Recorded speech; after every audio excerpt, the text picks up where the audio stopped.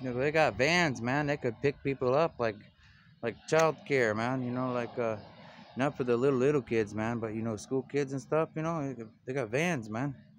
You know, you know, and, uh, then like sometimes they have to shut that stuff down because people sue for this and that. You know, stuff happens. You know, you got this and that. You know, like whoops, they got insurance. You know, but it should be. He says, oh man, my kid got a cut. You know, and they go and they. Yeah, they put a band-aid on it. They go, oh, you got a cut, you got a band-aid, we got to sue. No, you don't. You're idiots, you know. They're trying to give you education, you know. They get a finger cut, you know. Say, man, did they sew it back on or something, you know? But, you know, anyways, I don't want to talk about that stuff right now. We're going to talk about this. That's the Civil Air Patrol, man. You know, United States Air Force Auxiliary, you know. You know, because everybody was suing for this and that. You know, they messed up the funding and the budgets and everything else, you know. So, this is what they have right now, you know. Like a bunch of salt pillars, you know. I want to tell you about the salt pillars, you know.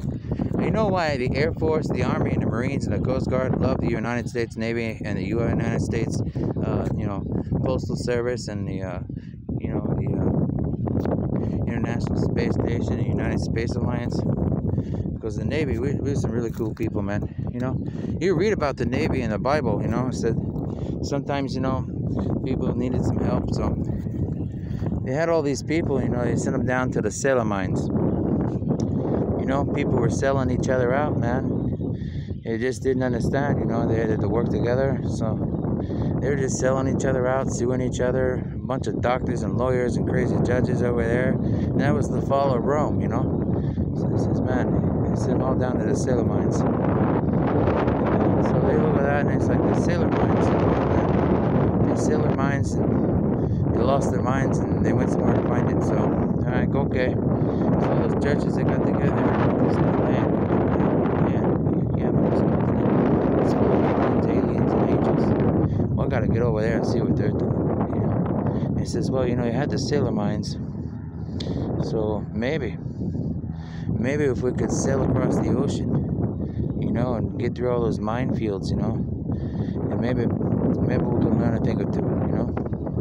And so it's like, well, you know, they sail across the ocean and do that a long time ago. So we gotta go there too. It's just, no, you gotta do it right, you know. So and you know, these minefields out there and warring over nothing. Like, well, you know, we a satellite system, a universal healthcare system, we could get universal high school system for education. This is man, and it could bring world peace like that, you know. A pretty good idea. You know? This is, you know, sailor mines, you know like the United States Navy and the space sailors, you know, the Space Force, you know, sailing up there in the oceans of the skies, man, for the world, you know. It's like, man, that was God's plan, yeah, something like that. He says, well, we got these posts here, you know. It's the starting of a building, but we need some volunteers, you know. So if we get a gazebo here, you know, you know, we could uh, put some kind of dedication thing here you know, for the people that down in the communities and the businesses, you know, that help build this thing that hasn't been built yet, you know. I got a weather station here too, you know. So that'd be kind of cool, you know. Instead of putting on a little pipe with some straps and stuff, you know, maybe they could put a gazebo here, you know. they can come out here and they look at this and they talk about it, you know. And you put a couple picnic tables over here where they could, you know, have a luncheon or something you know, and maybe the Civil Air Patrol, you know, they help with the community, you know. Maybe some people don't want to be part of the Civil Air Patrol, but you know, they have events and stuff, you know, for the local communities, and they come out and they talk about, you know, flight and space and, and stuff like that, and then they go, hey, you know, we got this thing over here for the high schools too, you know, you know, some of those people you might not go to this school or that school that have those programs, you know, so they go, hey, well, you know, we tell you about it, maybe you can go over here on the weekends, you know, you know, so this school don't have that or this school don't have that. Okay, that's fine. Didn't have the funding for that. Okay, cool. We got this building over here. You can still learn about it. We got volunteers from the schools that do have the program, and you go hang out with those kids at this place. oh man, and yeah, man, it's you know a lot about history. We got museums and stuff, you know, and maybe uh, you know, since you guys don't have those programs, you know, the schools that do have the programs, they get together and they save up some money and they go, hey, you know, these schools ain't got these programs like we do, so maybe we donate some money to them and we set up like a school field trip for them to go on this field trip thing, you know, and they come back and talk to us about it and stuff. And he says, man, that's pretty cool. And he says, yeah. So why are they doing that? They have like this little gazebo thing over here where the Wright brothers, you know, airplane, you know, model remake kind of thing. And they got a plaque talking about, you know, first in flight.